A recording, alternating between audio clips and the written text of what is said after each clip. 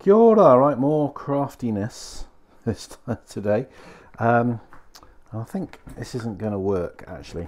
Um, this is an idea I've had, um, which I think is possibly a bad one. Um, so what I want to do is wrap some cord around my trekking poles on the weaker parts uh, and also on the hand grip parts.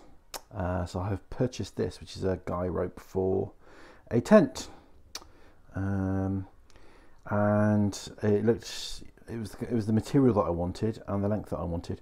Um, not the colour that I wanted because I want this to be black. Now I have uh, decided to kind of bathe this in a pool of paint. I think really what I want is dye because this is kind of plasticky so I don't think this is going to work. But I'm going to try it. I bought some cheap poster paint and I'm going to do is um, take this out of here uh, put it into this old ice cream tub and bathe it in a rich solution of poster paint.